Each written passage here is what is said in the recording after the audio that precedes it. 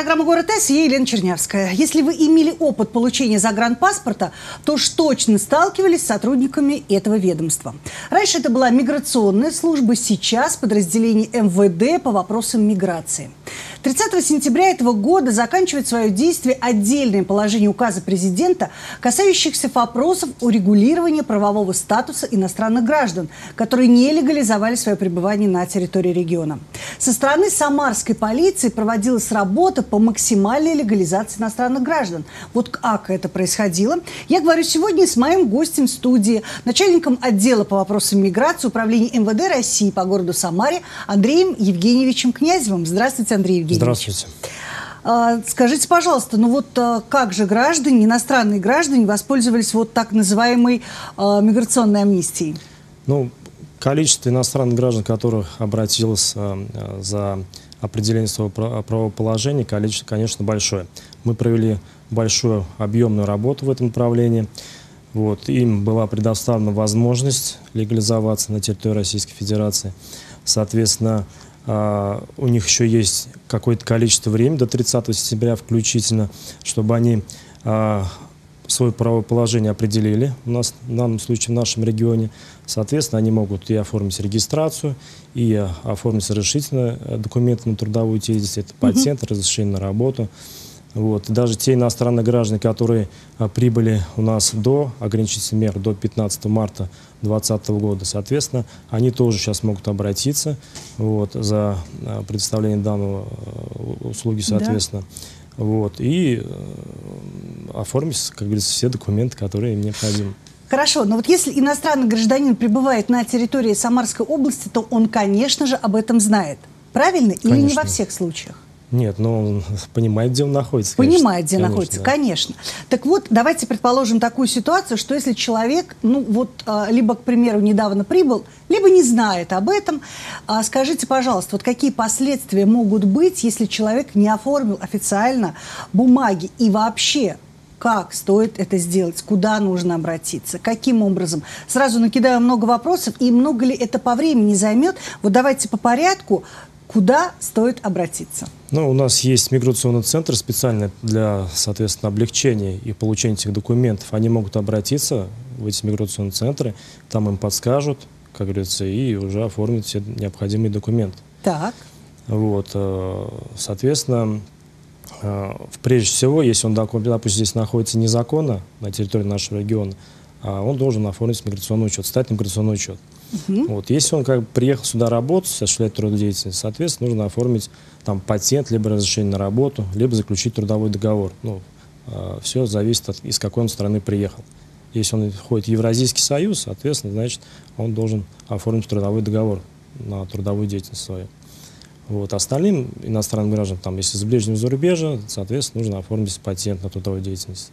Так, что такое патент? Что это за документ? Патент. Для кого он необходим? А, и обязателен ли он, а, если человек пока просто проживает на территории нашего региона и еще не устроился на работу? Ну, для того, чтобы ему проживать, ему соответственно, на что-то жить, правильно? Ему нужны какие-то средства. И в основном все мигранты приезжают с целью работать у нас. Да. Для того, чтобы поработать, им нужно оформить разрешительный документ. Вот патент как раз является документом, а, разрешая право работать. Угу. Вот. В миграционном центре он также может оформить этот патент. Соответственно, после оформления, после получения его на руки, он уже может а, заниматься точно трудом. Да, трудовой это, деятельностью. Да, да. Скажите, пожалуйста, сколько в итоге а, удалось лиц легализовать? А, давайте сейчас данные приведем по 2021 году. Ну и, конечно, всегда интересна статистика. Сколько в том году, сколько в этом? Ну, в период э, проведения ограничительных мер, соответственно, мы уже легализовали больше 20 тысяч человек. Если сравнивать с прошлым годом, это на больше на 80, более 80 процентов мигрантов Всех мы приезжающих, да? Да, угу. да. И как бы у них сейчас еще есть возможность легализоваться. И, пожалуйста, обращайтесь в миграционный центр и э, оформляйте нужные документы.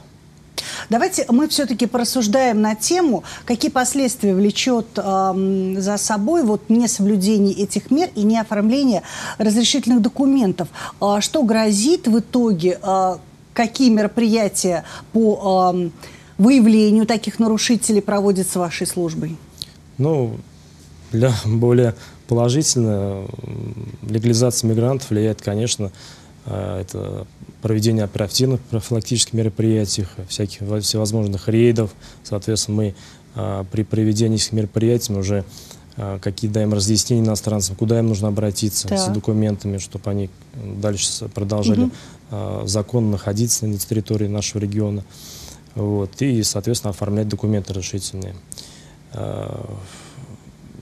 Для всех ли э, пакет э, этих документов обязательно? Для всех ли категорий граждан? Я имею в виду иностранных, которые приезжают в наш регион. Я сейчас э, здесь буду говорить о мужчинах, о женщинах, о пожилых людях, о подростках, детях и так далее. Вот давайте прямо вот расставим все точки над «и». Расскажите, пожалуйста, кому в первую очередь необходимо иметь при себе вот этот пакет документов? Ну, я же еще говорил, как, как бы если они приезжают работать сюда, им нужно, да. соответственно, оформить разрешительный документ на трудовую деятельность. Но после того, как они приехали, им нужно уведомить о своем проживании здесь, то есть встать на миграционный учет, угу. то есть, чтобы мы знали, где они проживают, и, соответственно, уже цель въезда, если работа, значит, работа есть частный вес въезда, да. То, значит, может, они хотят обратиться за получением российского гражданства, это уже иная категория иностранных граждан, потому что они могут подать заявление на получение разрешения на время проживания, вида на жительство, вот, в принципе, так. Угу. Хорошо. А, какие мероприятия, расскажите, пожалуйста, поподробнее, проводятся вашим ведомством, вот как раз по вопросам миграции, по проверке а, соблюдения именно законодательства? Ну вот помимо рейдов, а, что еще вы проводите и как работаете в этом направлении?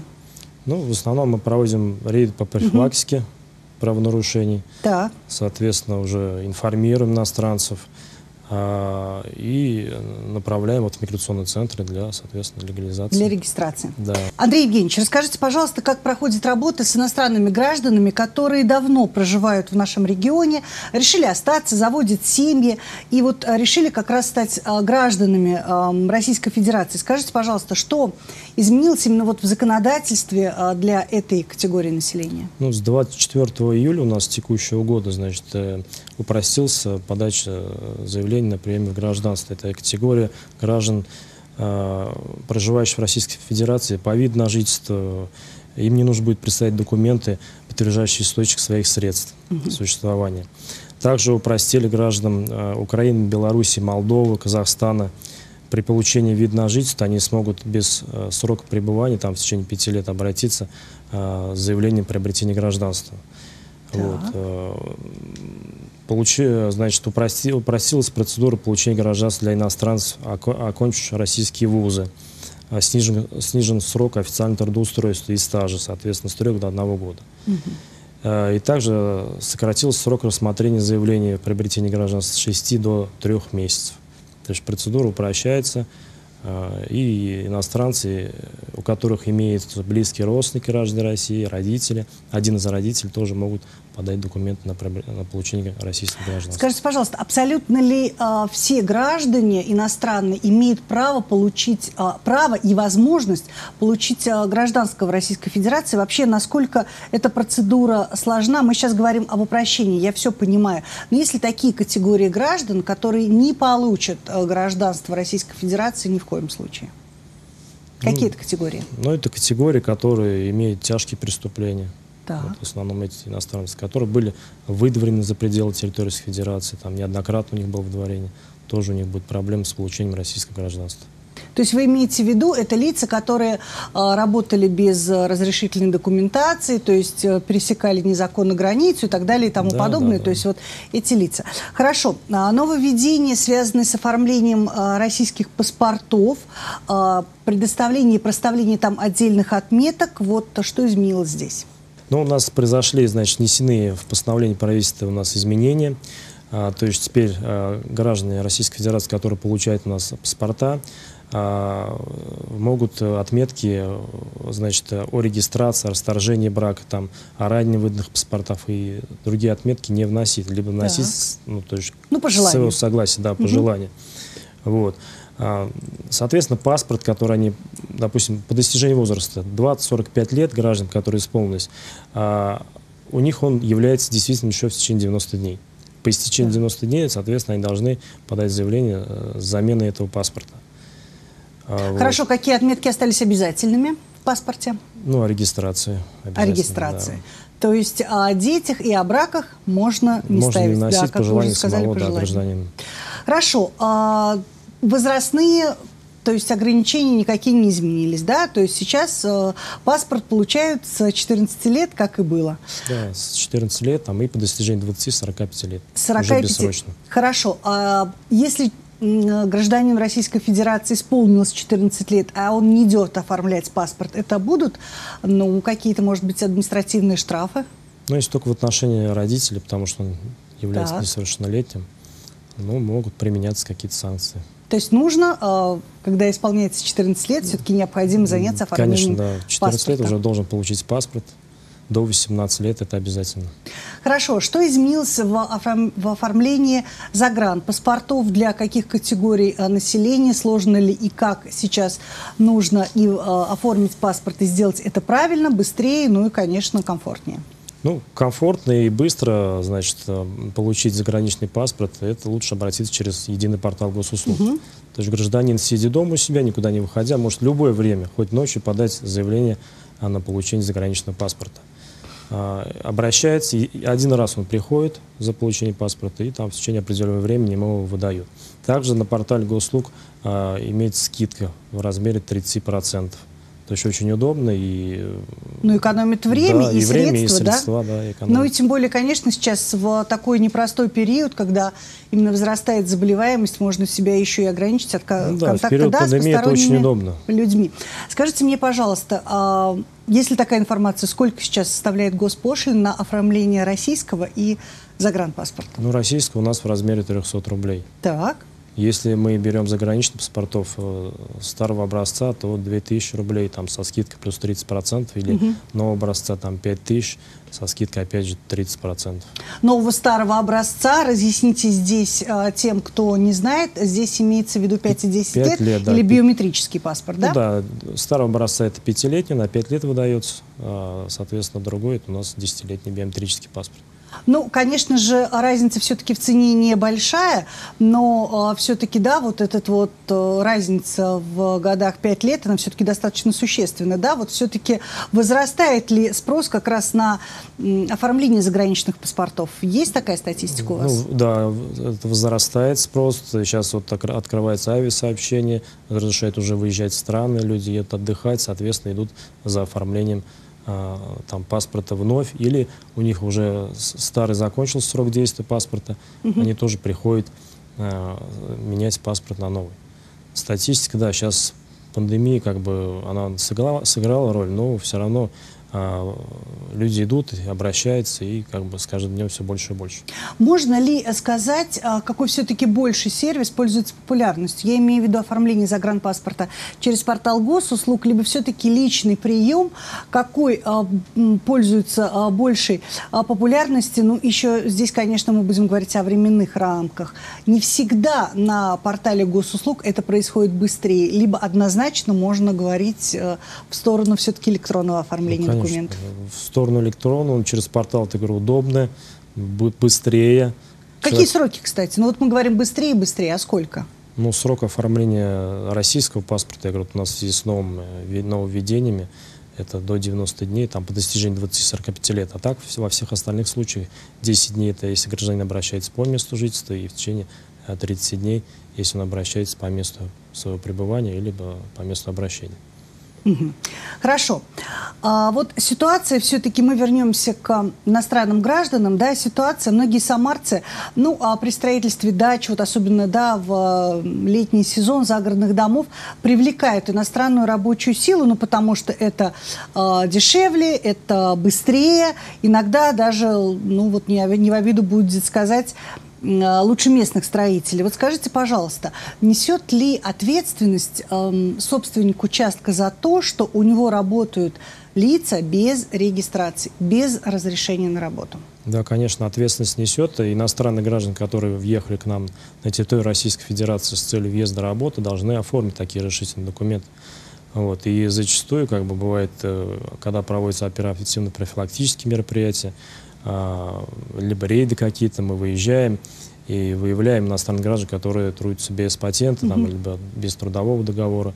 Вот, да, работодатель несет ответственность в соответствии с кодексом административных правонарушений, вот, и на него налагаются административные штрафы. Ну, и равно... мы тоже угу. разъясняем им порядок получения этого там, разрешительного документа. А, и сейчас мы как бы всех легализуем, а, и очень много мы патентов уже оформили иностранцам. Там, статистика у нас повышается, поэтому. Ну, а наверняка такие рейды проводите вы, наверное, на каких-то больших объектах строительства. Все-таки в частную собственность, в калитку, в звонок вы, наверное, не постучите и не будете спрашивать разрешение, либо я ошибаюсь. Вы Нет, про- почему же? Везде мы массу. проводим, и также и частные дома, угу. и дачные садоводческие товарищества проверяем, и большие объекты, в том числе и строительные большие объекты. И тоже. кафе, и рестораны, все, где наверняка общепит трудятся. тоже, да, общепит, общепит? да, да. Все эти объекты э, подвергаются проверками. Э, в основном мы их там э, как бы угу. такой момент мы э, рассказываем, как получить это все. Ну, то есть вы хотите сказать, что а, ответственность с первого раза не наступает, вы, наверное, Нет, объясняете. Ответственность или наступает, наступает все-таки да, штрафы. Да. А вот а, приличные штрафы за, допустим, вот если мы сейчас говорим о частном предпринимателе, о э, ИП, если, допустим, вот э, работают нелегально не один, не два, а десять человек, вот для собственника бизнеса будет серьезный урон? Штрафы, Я имею в виду денежный да, штраф. Штрафы большие, в соответствии с кодексом. У нас там э, мера ответственности предусмотрена. И там, Но большие какие? Можете назвать Ну, цифры? если вот брать, допустим, там по КОАПу 18-15, э, по части первой статьи у нас э, на работодателя предусмотрена ответственность, там штраф от 250 до 800 тысяч рублей. Ну, в отношении конечно, каждого деньги, иностранного да. гражданина. За каждого иностранного? За каждого, да. И зачастую, я говорю, сейчас большинство, конечно, вот этих фирм, работодатели, они оформляют чтобы угу. как бы не подвергнуться такому большому, такой большой сумме штрафов.